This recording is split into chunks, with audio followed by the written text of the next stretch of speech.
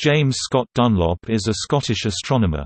He is Professor of Extragalactic Astronomy and head of the Institute for Astronomy, an institute within the School of Physics and Astronomy at the University of Edinburgh.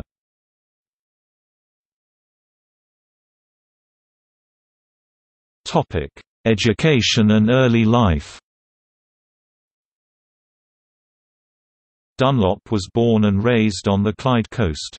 He studied physics at the University of Dundee, before moving to the University of Edinburgh where he was awarded a PhD in astrophysics in 1988 for research on redshift in radio galaxies and quasars.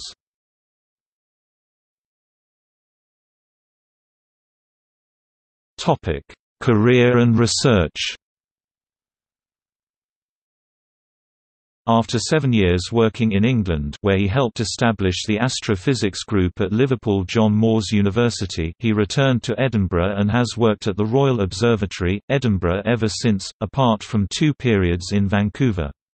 From 2004 to 2008 he was head of the University of Edinburgh's Institute for Astronomy IFA, and has recently taken this on for a second term. Dunlop is an observational cosmologist who uses the world's largest telescopes including telescopes in space such as the Hubble Space Telescope, to study the chronology of the universe back to the formation and birth of the first galaxies.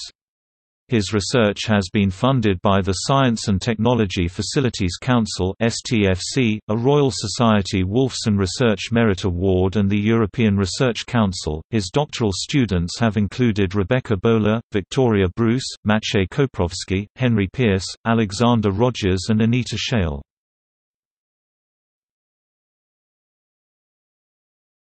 Topic: Awards and honors. Dunlop was elected a Fellow of the Royal Society FRS in 2016, a Fellow of the Institute of Physics FInstP, and a Fellow of the Royal Society of Edinburgh FRSE in 2007. He received the George Darwin Lectureship in 2014 and the Herschel Medal in 2016, both from the Royal Astronomical Society.